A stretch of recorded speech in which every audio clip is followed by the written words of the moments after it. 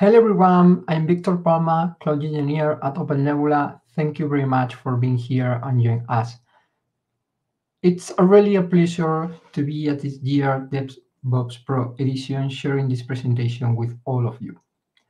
This session will introduce a new experimental AIOps frameworks developed in OpenNebula and its Prometheus integration for the evaluation of AI algorithms in order to provide intelligent workload forecasting and infrastructure orchestrations, capabilities to automate and optimize the provisioning and deployment of edge cloud nodes. So let us start with the, with the presentation.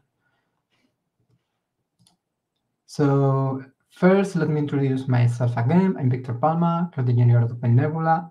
I come from Madrid and I've been working for Open Nebula for almost three years, developing and innovating in the cloud edge world. Well, well, let's move on from the introduction and let's start with some context. So first, what is observability? Well, I guess it's not a strange concept for most of you. It's nothing more than the ability to understand and analyze the inner workings of a system by collecting and analyzing relevant information. Okay, so, or in other words, it's just transforming a data input into information, into something that can be useful for us. So we can have a lot of numbers of our data, but if we are not able to give the, them a meaning, they are of no use to us. So once we have the information, understanding and analyzing, it's fundamental. This is observability. Thanks to observability, we can detect anomalies, patterns, or potential risk. We can identify performance improvements or observability can we help us in a decision making. As the saying goes, information is power. So we need to um, we need to add the the observability uh, issue to to our to our infrastructure. So, well, let's talk now about AI. In the end, that is what we want to address in this session. Is AI useful for observability? Without a doubt, yes, totally. It's true that nowadays we want to use AI in everything. Well, you know, uh, marketing guys are the main responsible for that. But well, observability it's a totally natural process for for the AI. So thanks to AI uh, eh, and data processing algorithm, we get many advantages such as enhancing data analysis, automated anomaly detection, dynamic scaling, or predictive analysis. It opens up a world of possibilities. However, while this all sounds good, there are a number of challenges and concerns that we need to be aware of. First, uh, there are concerns with third-party solutions. So many organizations currently entrust sensitive data to external observability providers, raising concerns about data ownership and privacy.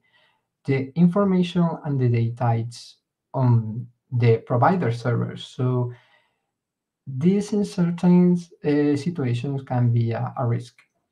So uh, I propose a solution the uh, following an open source um, philosophy. So providing transparency, allowing organizations to scrutinize code, address customization needs, and maintain control over the data. Thanks to open source, we can have the control of the code and the data. So that allowed to us to avoid the vendor locking risks.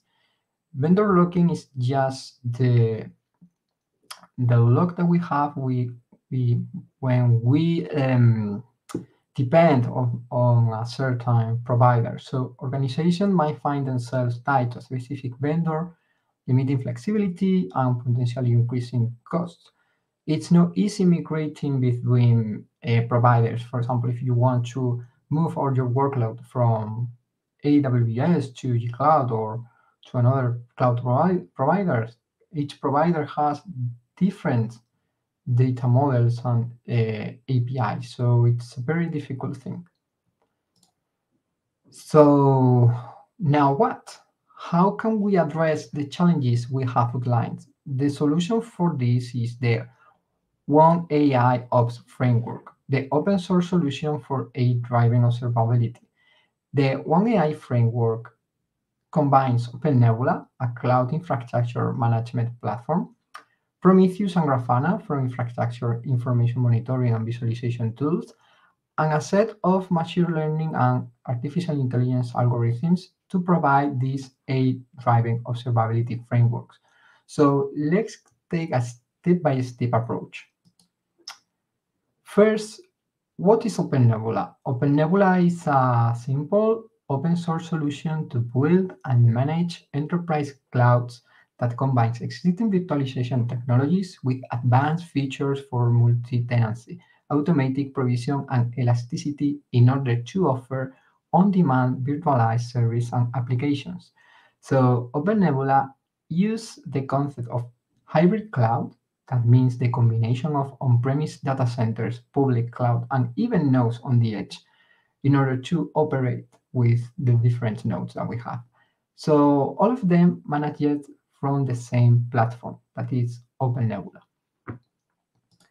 Here we can see some of the possibilities we have with OpenNebula. Thanks to OpenNebula, you can use the same interface to control all network and storage resources shared between different hypervisors such as VMware, KVM, LXC, or even Firecracker. OpenNebula has several integrations that, facilitate the creation of automatic workloads and applications such as Terraform, Kubernetes, Ansible, Docker, or custom APIs. OpenNebula also has its own web portal that we called uh, Sunstone, which with which you can interact with the OpenNebula core in a simple and convenient way.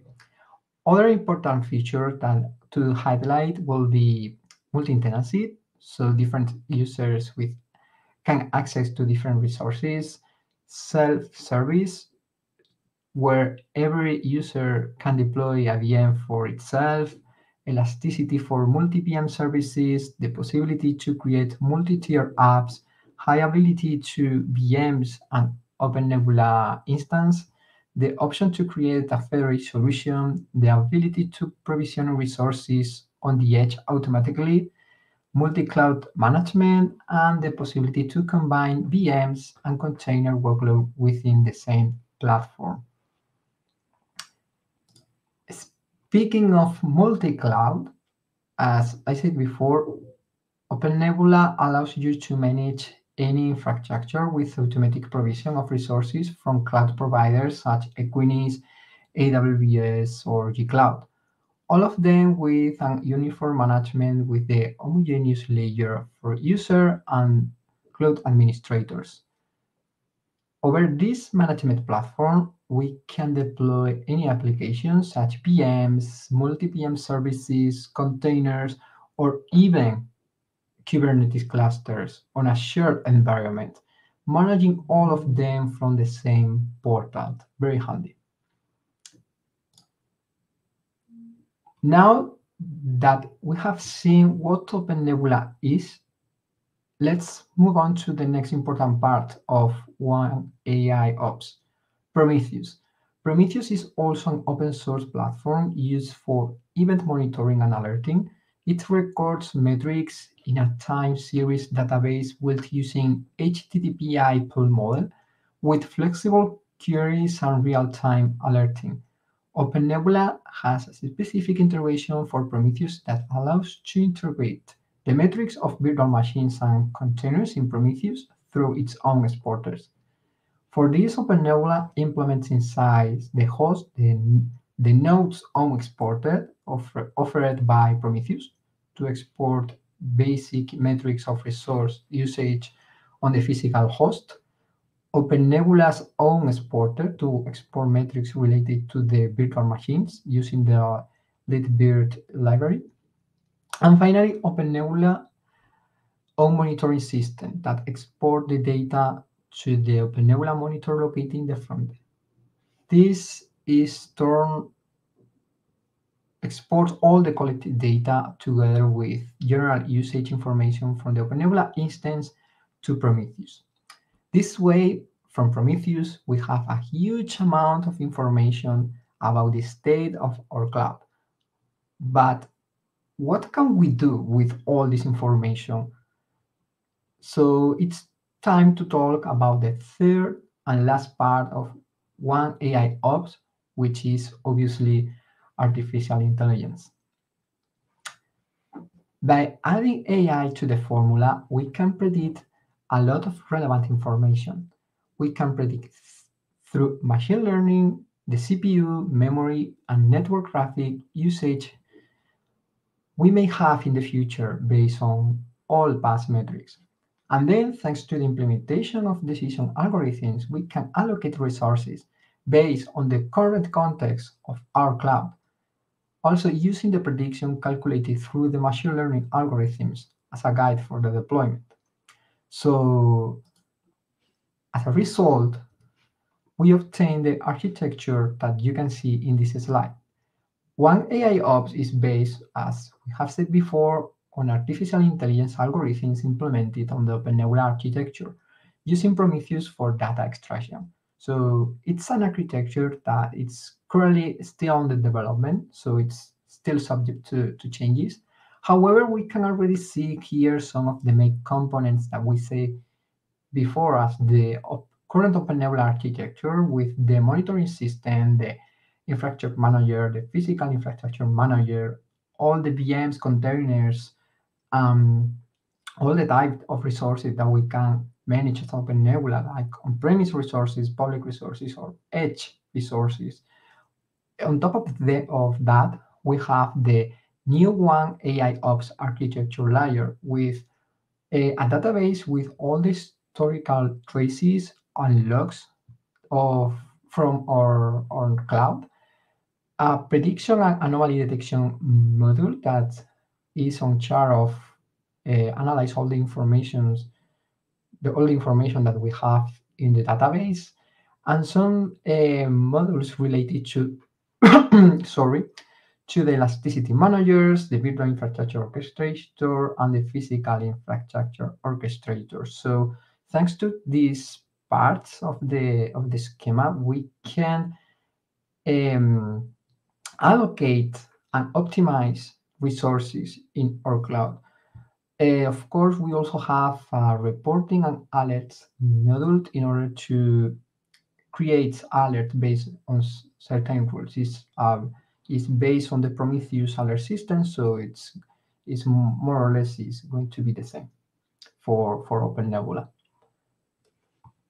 So thanks to One AI Ops and the architecture thing above, we have CPU usage prediction for individual VM CPU prediction per hour, the general CPU usage, and we also have accuracy. That means the accuracy between the last day real usage and the prediction for the last day generated by the tool. We can also optimize with one AI ops the VM allocation, consulting suggestion per each VM based on some algorithms such load balancing to balance the workload in our cloud, reducing the migrations in order to reduce, well, the migration in the optimization process, or the resource contention algorithm in order to join all the VMs in a few hosts and save resources. Very useful for on-premise uh, infrastructures. So here we can see the main dashboard in Grafana with all the metrics exported by Prometheus. Uh, we have a lot of interesting information such as graphs with the memory, CPU, and storage usage of the host, an overview of the status of our cloud with all the resources deployed, as well as the status of our virtual machines and host. One AI Ops also has other dashboards like the following one, where we can see all the results of the predictions made. We can consult the CPU usage prediction for each host, which allows us to get an idea about the use of our infra in the next hours. So One AI Ops also offers an average usage over our entire cloud, as well as an accuracy percentage that allow us to, to check the veracity of, of the prediction. So in this case, we can see that it's a very good value. And below, we can see the migrations that the tool suggests for a core optimization algorithm in this case. This way, we can take better advantage of our cloud resources, as I said before, very handy to on-premise infrastructures. So here, finally, uh, we can see a prototype of the One AI Ops implementation. We, we, we use the OpenNebula and libvirt exporter to provide general information about the status of the OpenNebula and VMs running on each host. Then we use the One AI Ops component in order to optimize the placement of our VMs based on the usage, on the usage and the data collected. And then once Prometheus has all the metrics collected, we can check all the information using the Grafana dashboards. So since it's a prototype, no automatic migration action are performed here. This is only limited to suggestions for the cloud administrator. However, according to the results of our labs, the recommendations are, are quite good and help greatly to optimize the cloud. So what are the next steps? First of all, we will implement the PIO operations in order to apply the suggestion automatically. Since, as I said before, currently One AI Ops only shows migration suggestions since it's still in development stage. Once this step is done, uh, the next step will be include AI Ops as part of the OpenNebula software distribution, installing it within the same package. Finally, we also hope to expand the functionality to support anomaly detections, allocation based on memory prediction, allocation based on network traffic, and alerts and warnings based on these metrics and detections. One AI Ops is, is an open source so you can contribute to the project or check the source code in this repository that you can see here. And speaking of contributing, I would also like to mention the OpenNebula forum, where you can collaborate, discuss, and help other OpenNebula users to get the best out of their clouds. I really recommend it. You will also have the opportunity to learn a lot about the platform here, apart of course from the official OpenNebula documentation. So as a closing slide, I would like to comment that this project is being found by the European Union project named Cognit, a cognitive server framework for the Cloud Edge Continuum. One AI Ops, together with OpenNebula, will be used as fundamental pillars within this project for the deployment and optimization of resources in the Cloud Edge Continuum. So, oh, sorry. So, well, that's all. I hope this presentation has been of interest to you. I hope to be able to to share more news about One AI Ops in the future. So stay tuned to the official OpenNebula's information channels like the forum, Twitter, and so on for updates. So thank you very much for your attention. I hope to see you the next time. So I think that now we can, let's move on to, to the Q&A section. So in case you have any questions, we can see now.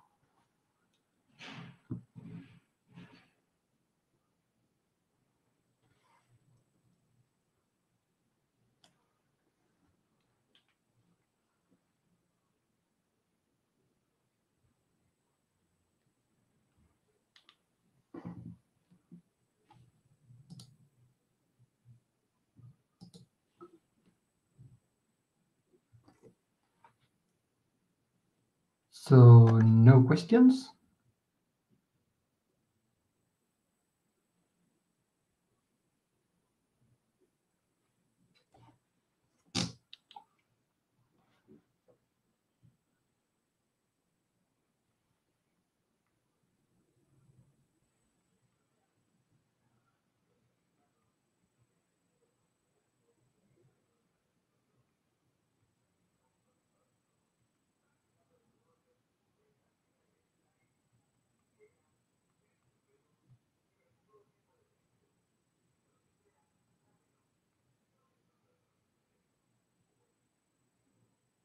This is all we got. Dreaming about a revolution in our minds. This is all we got.